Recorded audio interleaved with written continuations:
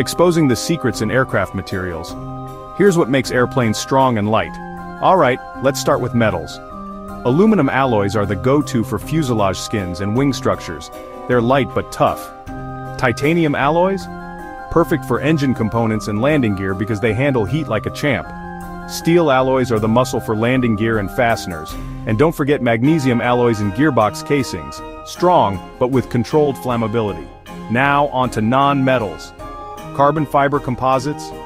They're everywhere from wings to control surfaces offering great strength to weight ratios. Glass fiber composites are ideal for radomes and secondary structures, they're light and versatile. Aramid, like Kevlar, adds ballistic protection to interior panels. Thermoplastics such as PEEK and PEI keep cabin interiors light and durable. Honeycomb structures?